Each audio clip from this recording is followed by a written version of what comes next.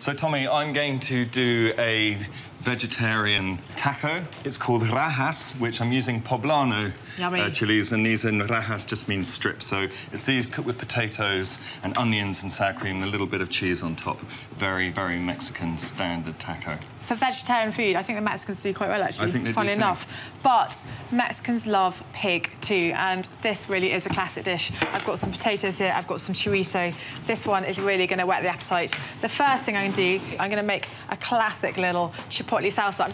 This is a morita chipotle. It's smoked, lovely smoky That's flavour. a jalapeno smoked here. yeah, jalapeno smoked. Dried chipotle chilies are available from Mexican food specialists or online. Thomasina soaks it in boiling water for 20 minutes and will use for her salsa when soft. She then chops her chorizo. This is a sausage, it's not a salami, so this has got to be cooked. So I'm putting the chorizo in the pan first because I want all that lovely fat that's going to stain and flavour my onion. To begin with, I'm just going to soften it and just want the fat out because I'm now going to slice up my onion and the onion is going to soften, not brown, just soften gently with the chorizo. It's going to cook in all that lovely chorizo fat. So the chorizo is really the Spanish influence in Mexico, yeah? This is actually a Spanish one I'm using. Thomasina adds the diced onion to the pan along with pepper and salt. She then chops garlic and fresh thyme and adds to the pan once the onions have softened and the chorizo has released its oils. This filling you will find at any street food stand in Mexico throughout the length and breadth of the country. Then we'll add in the potato. Now this potato is very simply just boiled. Um, I, I cut it up a bit before I boiled it, equal sized chunks, so it cooks evenly.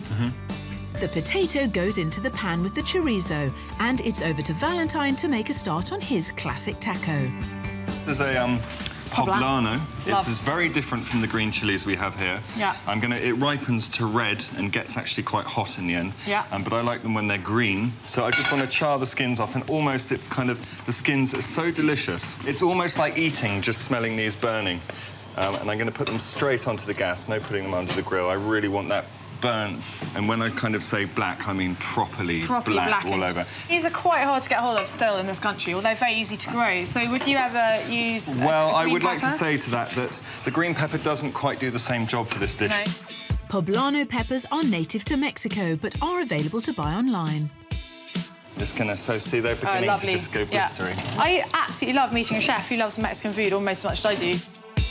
For his topping, Valentine also slices onion and adds to a warm pan with sunflower oil and seasons with salt and pepper. And then I want to actually burn these onions slightly. Right, Tommy, my poblanos are done. Oh, really lovely. nice and blackened. Great. So those can come off. And then I'm gonna add some cumin.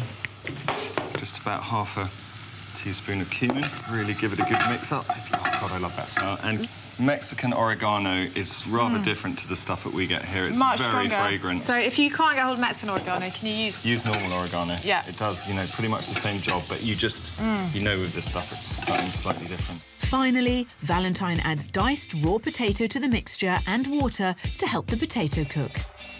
So, Tommy, the potatoes are in, lid on, and I'm going to cook them till they're just tender for about 10 minutes. I don't want them bitey, but just tender. OK, perfect. Valentine is banking on his authentic poblano peppers winning over the judges, but Thomasina is convinced her chorizo and potato combo is a surefire hit. Which classic tacos will be perfect?